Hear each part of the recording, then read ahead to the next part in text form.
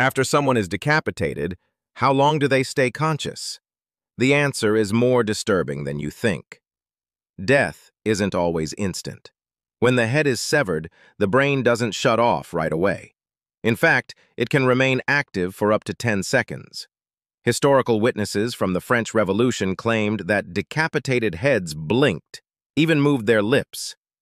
Scientists now believe those reactions aren't just reflex. They may indicate real awareness. Why? Because the brain still has oxygen for a few moments after blood flow stops. That means, for several seconds, a person might still see, hear, and even understand what just happened. There's no pain, just rapid, terrifying clarity. Then, everything fades into black. So how long do you stay conscious after losing your head? Long enough to realize it's over. Follow 60-second mysteries for more chilling truths they never taught in school.